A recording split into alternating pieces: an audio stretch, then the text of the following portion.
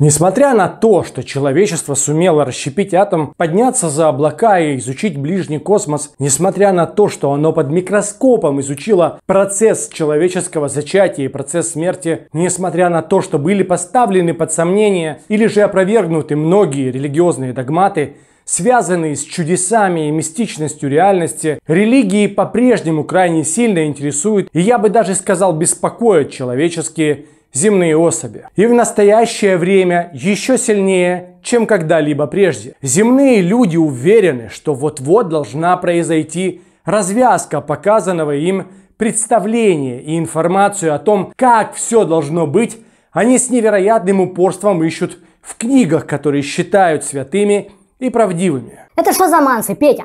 Человеческие особи, земные люди, ты нам в чем-то хочешь признаться, морда рептилоидная? Благодаря самым популярным роликам на нашем канале, посвященным разоблачению некоторых аспектов некоторых религий, благодаря многотысячным комментариям под ними стало понятно, что люди хотят увидеть и узнать еще. Я обязательно должен еще рассказать о самом страшном секрете славянского язычества, сатанизма и буддизма. Это топ-3 запроса ко мне по этой тематике. Ну что ж, в X веке якобы за сатанизм был отлучен от престола папа Иоанн XII. Примерно в это же время дьявол окончательно и очень сильно укоренился в средневековом религиозном сознании. Дьявол стал вторым по значимости религиозным персонажем и главным олицетворением абсолютного зла. По мнению всех видов христианских церквей, как тогда, так и сейчас, все, что языческое, а также манихеи, катары, альбегойцы – это все от нечистой силы.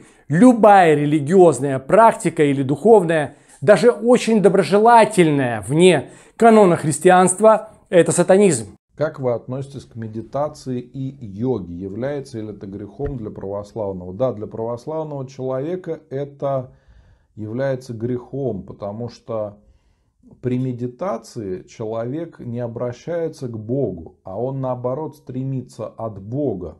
Даже сам этот термин впервые прозвучал в 1565 году в одной из книг, в которой критиковалось учение славного человека Мартина Лютера, который первый тогда столь громко заявил, что Бог не имеет никакого отношения к церкви, и каждый человек обладает к нему таким же доступом, а то и больше – чем священнослужители. Учение Мартина Лютера назвали сатанизмом. Конечно же.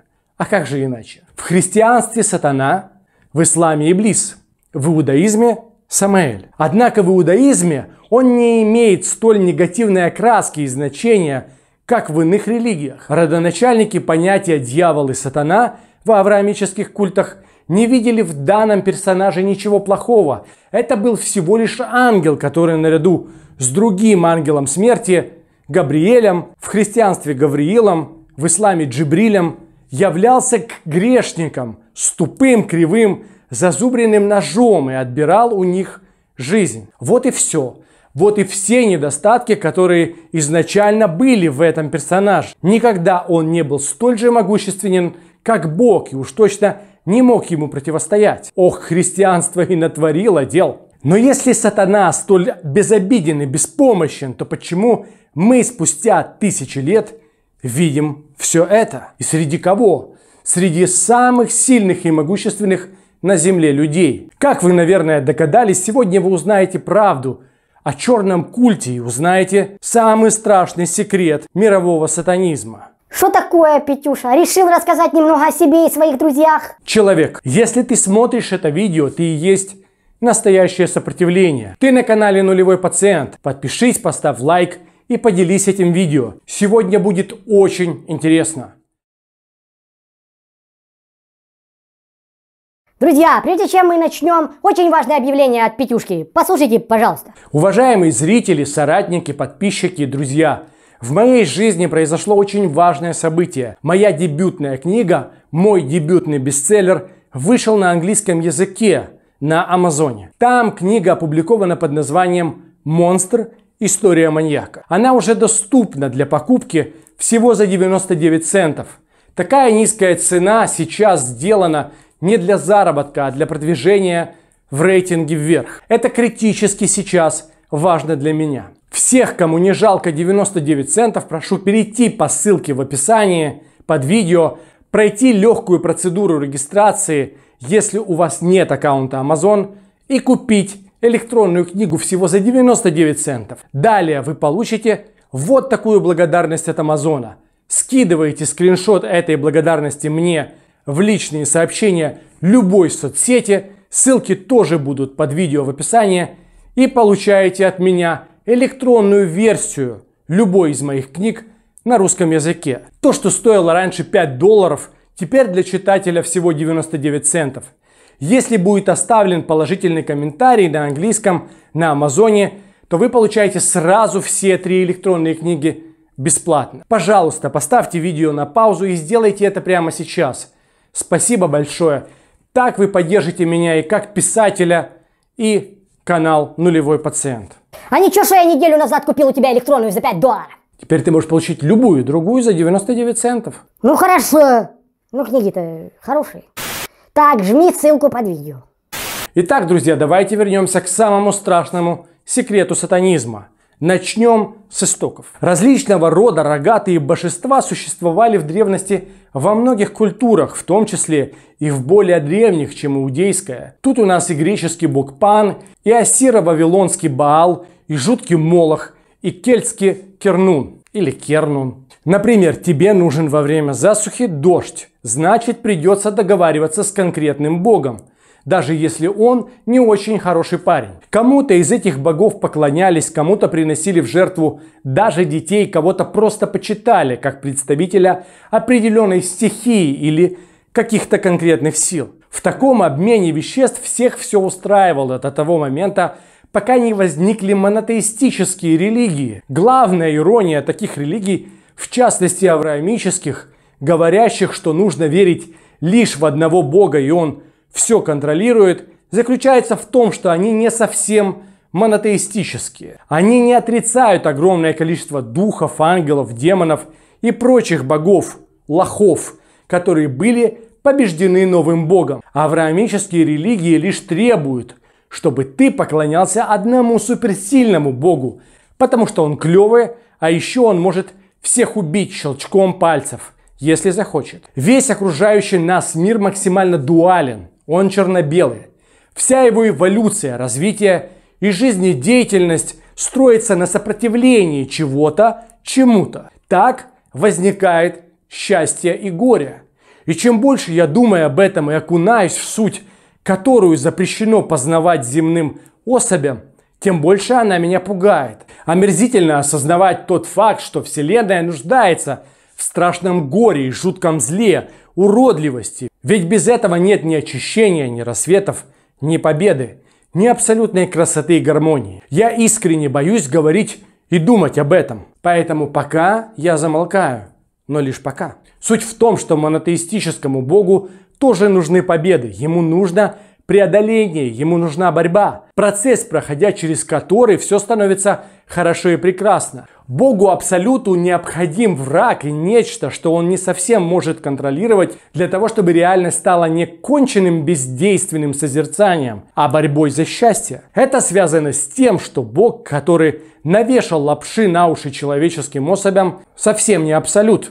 Он страшный лжец. Ведь у Абсолюта нет врагов. Если Абсолют создает себе врага, он конченый бездельник, которому скучно и ему нечего делать. Ведь страдаем от этого якобы врага мы, а не всемогущий Бог. Здесь мы с вами наталкиваемся на фантастически важную деталь.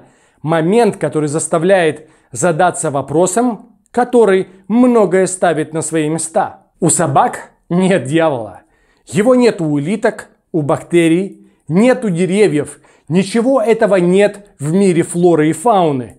Храмов во флоре и фауне не строят. Если мы прочтем священные писания, мы заметим, что богам животные и прочий мир вообще до лампочки. В лучшем случае вам расскажут лишь что-то в стиле «я создал это все для тебя», «наслаждайся», «пользуйся» и всякое прочее мура. А это значит, что сатана не вселенское зло, а зло, призванное навредить и напугать лишь человека. Это касается и Бога Абсолюта, который создал даже ад и рай для человека. А до 7 миллионов 500 тысяч биологических видов ему дела нет. О да, со стороны добра и зла такое отношение действительно может убедить человека в своей важности и особенности. Монотеистическому Богу нужен враг и победа над ним. Только так он убедит человека в своей силе. Почти каждая выдуманная кино или литературная история строится на победе одного чего-то над другим чем-то.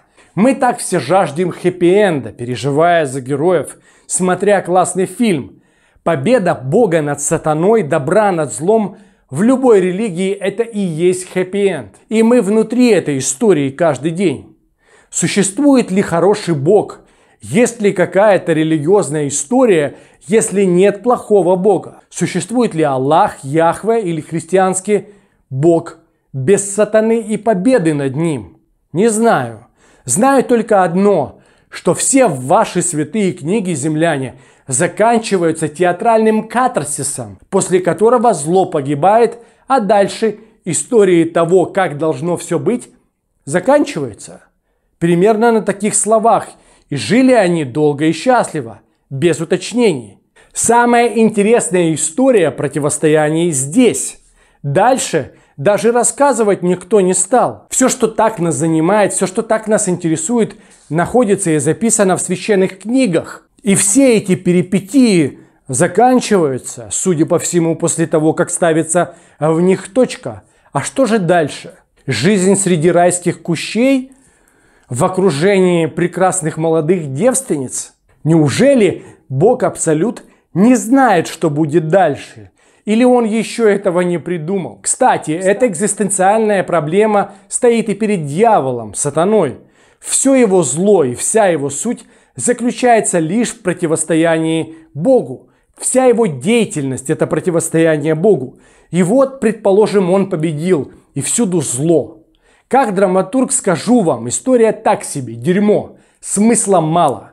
Нужно писать новую историю, основанную на неком противостоянии, борьбе, преодолении. Но все же вернемся к сатанизму и его самой страшной тайне. Всем без исключения авраамическим религиям хронически необходим дьявол как олицетворение зла. Перекочевав из множества древних религий, он вначале появился в иудаизме в большом количестве его течение он разный. Далее он оказывается в очень агрессивном, раннем каноническом репрессивном христианстве.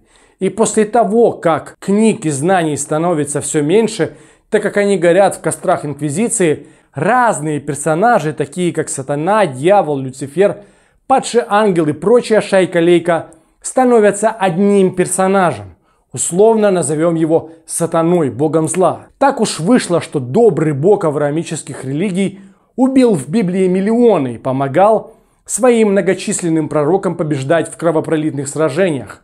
А страшный сатана никого особо не пришиб, да и с силой его пророков как-то не сложилось. Нет ни одного мощного величественного пророка или учителя, за которым бы пошли миллионы. Да хотя бы сотни тысяч человек превратившись в открытый массовый культ. По-настоящему сильному и могущественному явлению скрываться не нужно, скрывается только слабое, трусливое и уж извините. То, что испытывает страх, смелость не таится. И вот здесь у меня возникает вопрос. От чего тогда якобы современная элита, по мнению конспирологов, и вполне возможно это правда, так прильнула к сатанизму? Что он может им дать? известные и популярные люди благодарят сатану. Uh,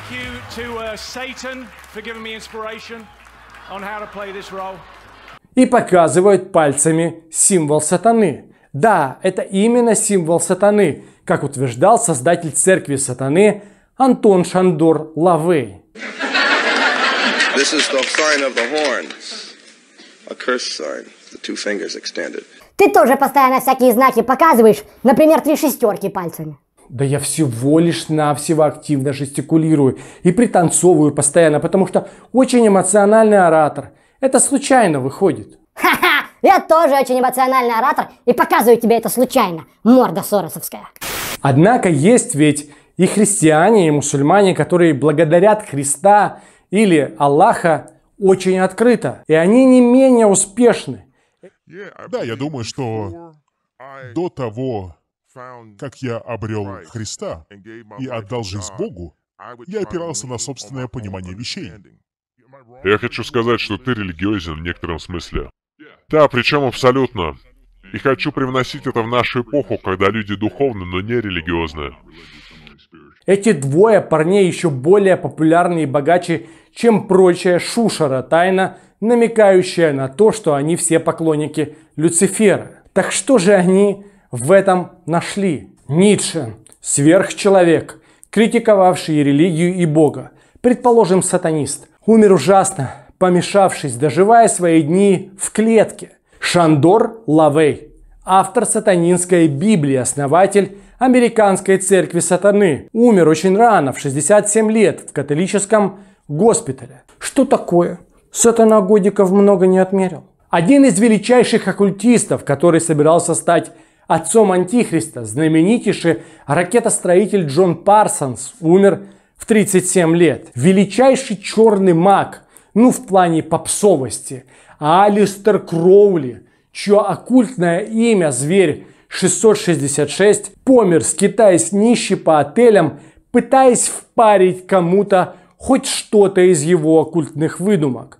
Где же богатство и власть, подаренные сатаной?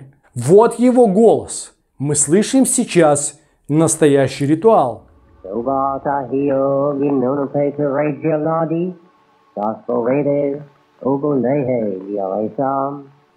Да-да, что-то там выдуманное на латинском или еще на каком-то. Бла-бла-бла, Ты, Петька, с этим всем не шути, а то у тебя уже я появился. Не самое лучшее развитие событий. Хм, какая-то чепуха выходит. А ведь я вам сейчас не о шушере публичной, а об очень якобы серьезных, темных, сильных людях, которые, будучи сатанистами, выходят, ничего не получили. И вот я вплотную подошел к ответу на вопрос о самом страшном секрете сатанизма. Людей, критикующих меня за редкий мат, не очень много.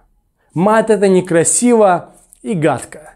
Я прошу у вас у всех прощения, но я не могу сказать иначе – мне очень хочется это сказать и сказать именно так. Самый страшный секрет сатанизма заключается в том, что его нет. Сатанистов наебали. И каждого, кто сумел сборную солянку из кучи языческих богов соединить в единого персонажа, всех, кто порождает величие этого персонажа и страх перед ним, наебали. Куда тебе чему пытать людей в аду, если ты в Библии никого особо не мучил и не убил? Слушай, ну это реально логично, хотя логика это не мое. Ты лишь обманывал и подстрекал. Ты клоун, ты лицедей, как и все зло. Лишь театр, зрительные и слуховые образы, которые пугают человеческие земные особи. Зубы, пасти, рога, глаза, пламя, дерганья – Интересно, как бы ты напугал слепоглухого? Как ты явишься во сне, потерявшим зрение до трех лет, тем, кто не успел сформировать нейронные пути с твоим образом? Кто боится тебя, если о тебе и о твоей силе никто не знает? А в головах населяющих планету – строится образ неудачника, слабака с рогами, который однажды появится, которого с легкостью можно убить, выстрелив в голову из пистолета. На такой планете ты никто, пустое место. И храмов тебе не открывают. Но благодаря определенной работе в голове людей закрепился образ чего-то величественного, могущественного и опасного. Ты пока не боишься меня – чмо.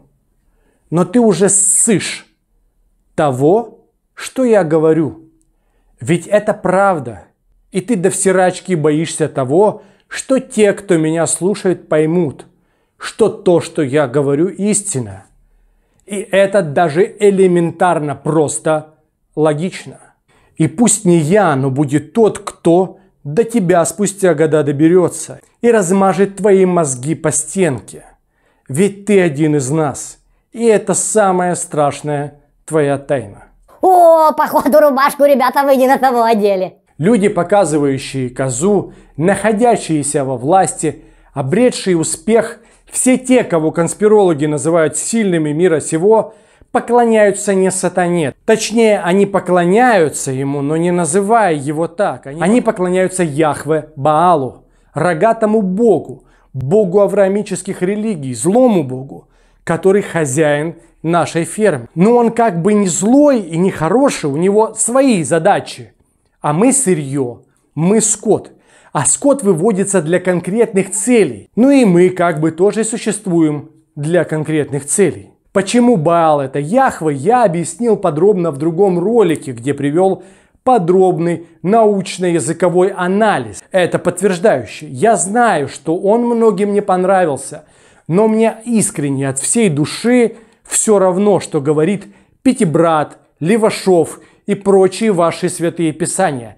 Для меня имеет значение, что по этому поводу говорит британская энциклопедия мировых религий – и данные, которые там имеются. Самое авторитетное научное издание в этом вопросе. Вам что-то не нравится, разбирайтесь с ними, не со мной.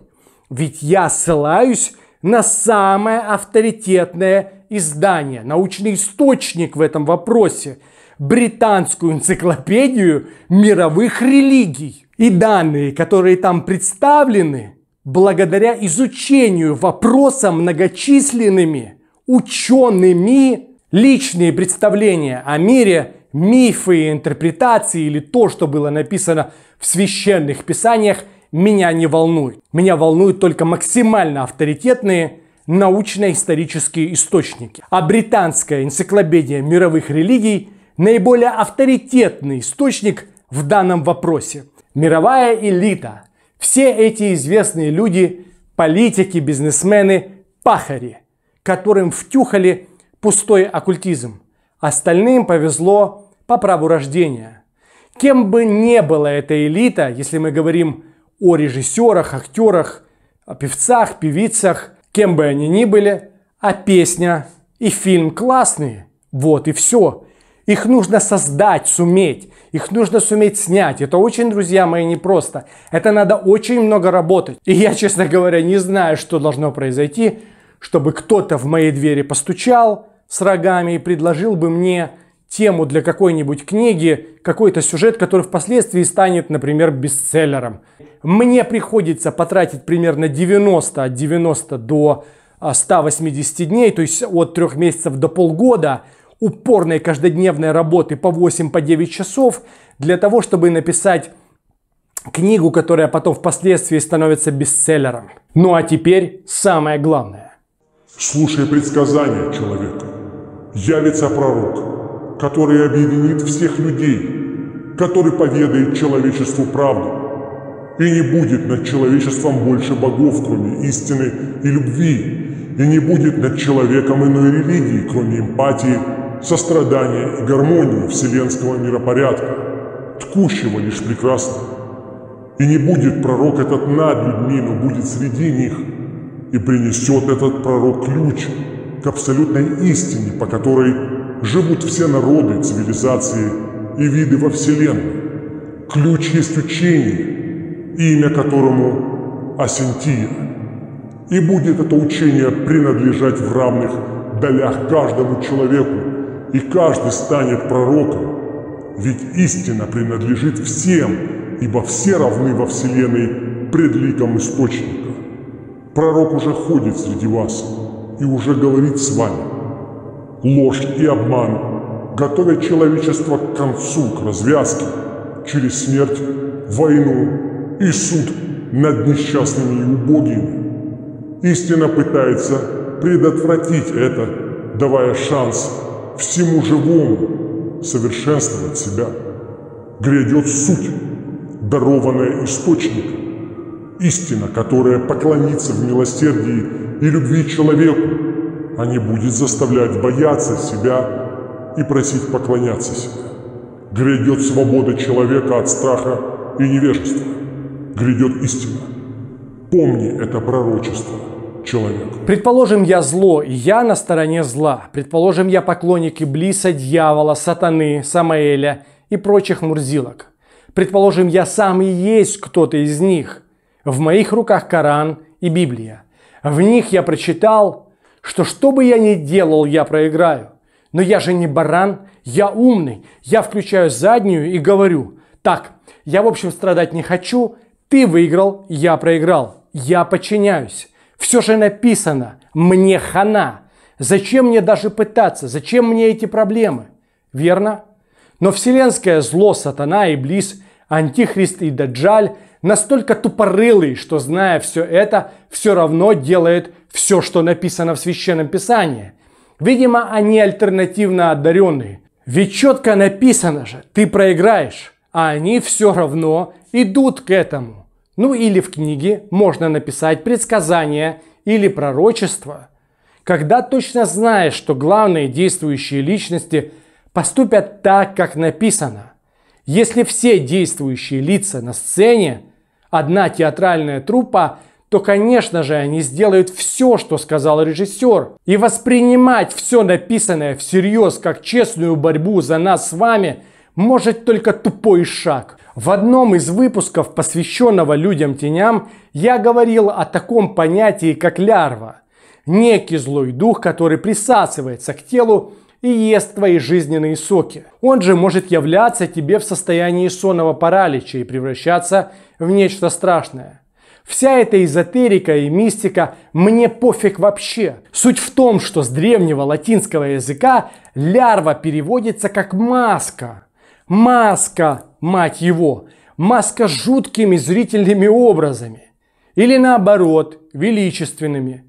Поразить, удивить, трепещите.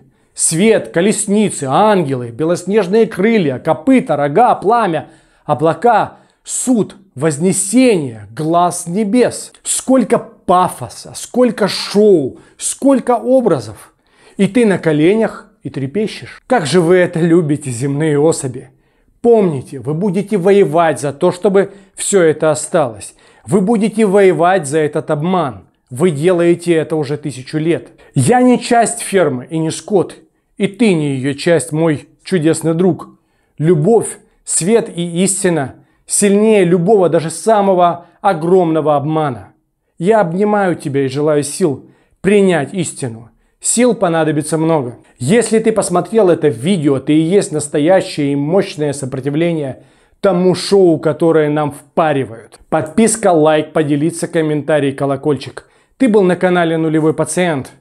И помни, грядут перемены. Они нам просто необходимы. Пока. Сегодня как-то прям интересно было, но меня как-то мало. Если меня хотите в роликах больше, пишите в комментариях. Эта масонская морда к вам прислушивается. Где бы ты был, Петя, если бы не я? Что такое, Петюша? Решил рассказать немного о своих друзьях.